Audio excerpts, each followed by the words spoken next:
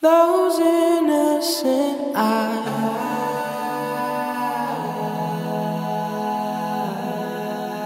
That smile on your face makes it easy to trust you if they only knew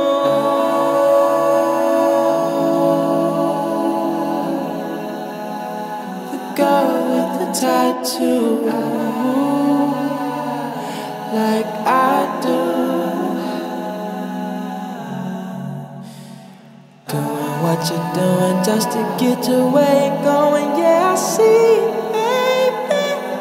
Just don't lose yourself along the way. No, cause you're doing what you're doing just to get to where you're going.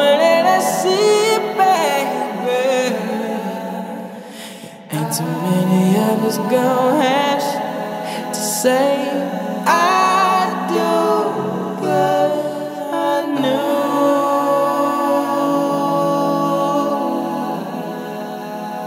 the girl with the tattoo.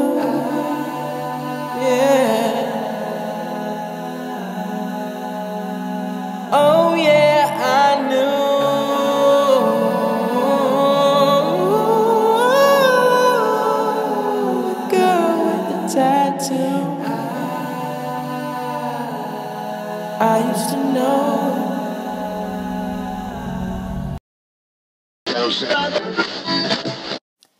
Good morning, everyone. It's Sasha here again. What a beautiful morning to interview a novelist with a new deluxe edition to one of their novels. I'd like to welcome Man Booker Prize winner and novelist Yann Martel, author of the marvelous novel Life of Pi, to the 107.9 Entertainment News Talk Show. Welcome, Yann. How are you this fine morning? I'm great, thank you.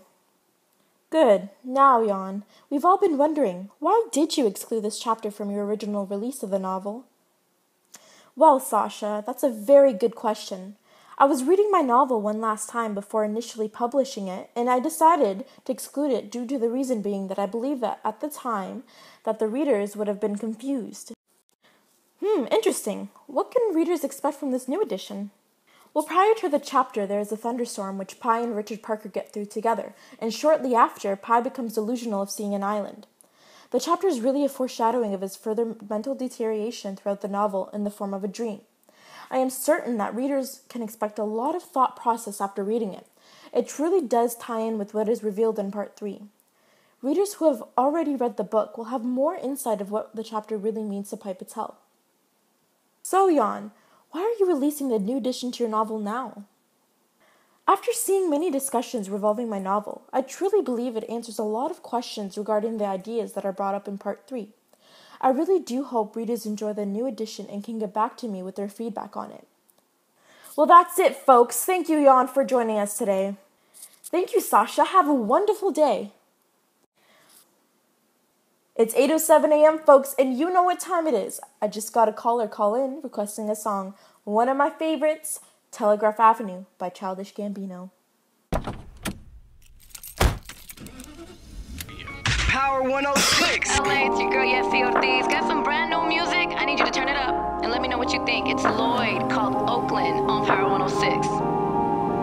I was making Japanese and she's watching DVDs in oh, Oakland, in Oakland. Now I'm driving up the five and she waits till I arrive in Oakland, in Oakland. Everything that I wanted, only gotta drive for the moment. But you know me, you know how I get when I'm lonely, and I think about you in a moment. But everything you do is so Oakland, so Oakland. Foot on the gas. I'm just trying to pass all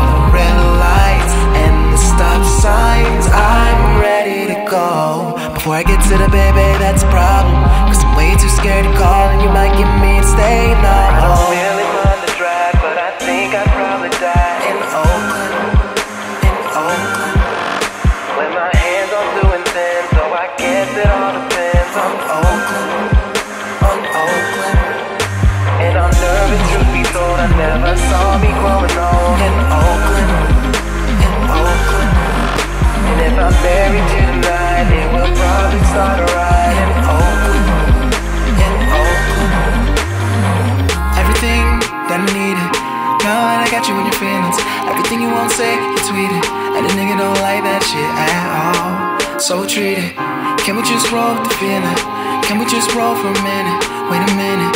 Foot on the gas. I'm just trying to pass all the red lights and the stop signs. I'm ready to go. But I'm really not ready, girl, that's a problem. Cause I'm way too scared to fall, again. Rich kid, but he act like a gentleman. Last one didn't end like it should have been. Two dates and he still wanna get it in. And they saying it's because of the internet. Try once and it's on to the next shit. X or the old face on your exes, right? And we can do the same thing if you wanna have at it when your thoughts can't breathe and you're thinking asthmatic and you wanna be a mom. And I wasn't mad at it, I was thinking about me. I'll be really bad at it cause I'm thinking about me. Weeks in Dubai, 4th of July, house in Kauai, yeah, we can try. So let's try. Same thing.